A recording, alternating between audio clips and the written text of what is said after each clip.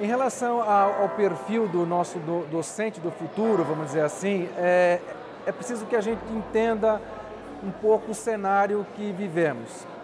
Eu costumo dizer que o professor que eu, que eu vivi como estudante, aquele que eu convivi, melhor dizendo, não pode ser mais o mesmo que vai uh, uh, cuidar dos ambientes de aprendizagem dos próximos anos. Uh, há 30 anos atrás, quando eu era estudante, eu ia para a escola porque o professor era a minha única fonte de informação.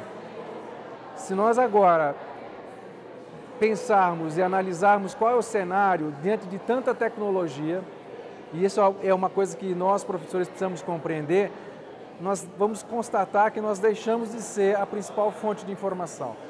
Então, o perfil de, um professor baseado nessa constatação faz com que a gente tenha que refletir sobre o nosso papel nos ambientes de aprendizagem. Eu estou falando de ambientes de aprendizagem, reparem que não estou falando de sala de aula exclusivamente porque há uma transformação, inclusive, dos espaços de aprendizagem.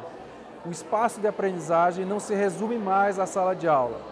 Eu não estou falando de uma educação, portanto, de cronômetro, não estou falando de uma educação de espaço, eu estou falando de uma educação conectada, uma, uma educação que usa as tecnologias para permitir que o estudante possa acessar a informação. E aí qual é o nosso papel? O nosso papel seria então de mediar esse processo da relação desse estudante com a informação e de o que, do que ele faz com essa informação. Ou seja, o processo de construção do seu conhecimento que é completamente individual. Ele deixa de ser algo que é coletivo, que é o ensino, para aquilo que a gente chama né, de que é individual do ponto de vista da aprendizagem. Todos nós aprendemos de formas diferentes. Temos interesses diferentes, temos contextos diferentes, damos significados diferentes às, aquilo que aprendemos, é aquilo que conhecemos e, portanto, o professor precisa entender disso. Esse é um dos detalhes importantes.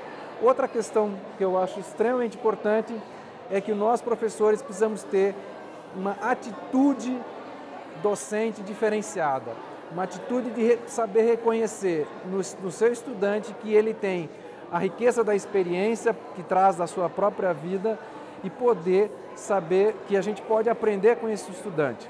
Então eu sempre falo que quando eu, eu mais de 20 anos, eu tenho 30 e tantos anos de experiência na universidade, sou professor da Unesp, completou este ano 30 anos, eu posso dizer para vocês que cada ano, na verdade, foi um aprendizado que eu tive.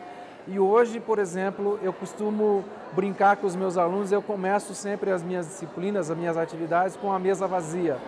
Eu não trago coisas para os estudantes. Eu, eles é que me trazem o que, eles, o, que, o que lhes interessa e a partir disso eu começo, junto com eles, a construir material, construir estratégias para que eles possam aprender. Então, é, é, essa é, meu, é, esse é, no meu, entendimento, um novo perfil de professor, que tem a grande dificuldade, porque nós não somos formados para isso e nós temos a angústia, o estereótipo de, ter, de sabermos tudo.